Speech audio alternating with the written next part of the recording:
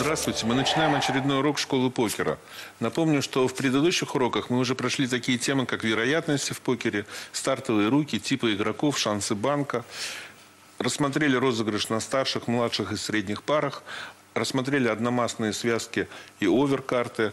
Прошлись по арсеналу технических приемов розыгрыша.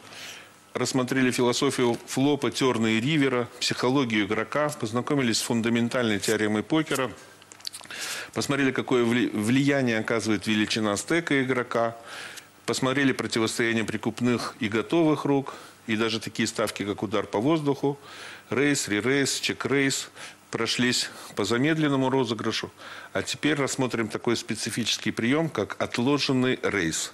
И теперь я хочу пригласить за стол своих студентов.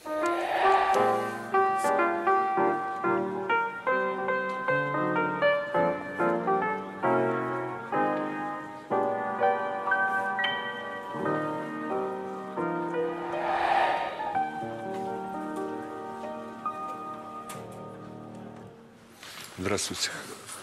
Ну, напомню, мы когда-то проходили такой прием, как чек-рейс. Это специфический прием розыгрыша сильной комбинации.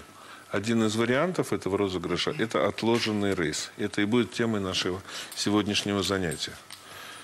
Итак, смотрите, у вас, например, в руке две четверки, вы зашли колом, не очень сильная рука, но на флопе вам неожиданно пришла такая карта, например – четверка, двойка и какая-нибудь там, не знаю, девятка.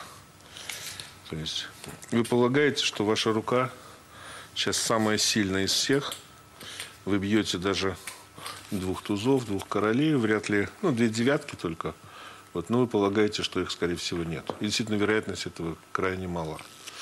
Вы хотите выиграть как можно больше ваших оппонентов и обманным образом говорите чек, показываете, что у вас нету никаких ценностей в карте.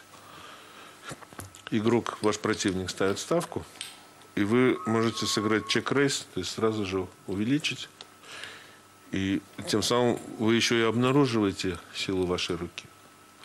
То есть, если у него ничего нет, и он просто решил украсть у вас на каких-нибудь там туз 10, туз король, дама валет, мало ли что у него может быть. Вот, то есть, большой него ничего нет. Но вы его практически выгоняете из банка. То есть чек-рейс ведет как, к захвату как минимум вот этой одной ставки, которую он ставит. И дальше вы рассматриваете план розыгрыша в зависимости от действия оппонента. Но чаще всего это будет пас. Вот. Есть альтернатива этому чек-рейзу. Это так называемый отложенный розыгрыш. То есть вы знаете, что вы будете ставить, чтобы не пришло. Открылась какая-нибудь карта, и вы говорите банк.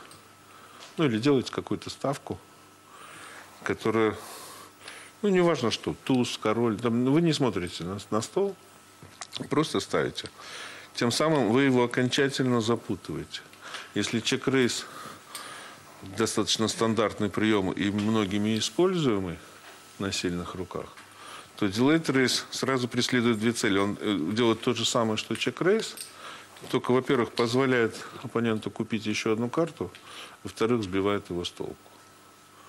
То есть вот, собственно, весь смысл этого приема. Вот, я предлагаю нам решить пару задачек, а потом играть, для того, чтобы как только встретятся такие ситуации, чтобы мы могли искать возможности употребления этого дилайт рейза в реальной жизни.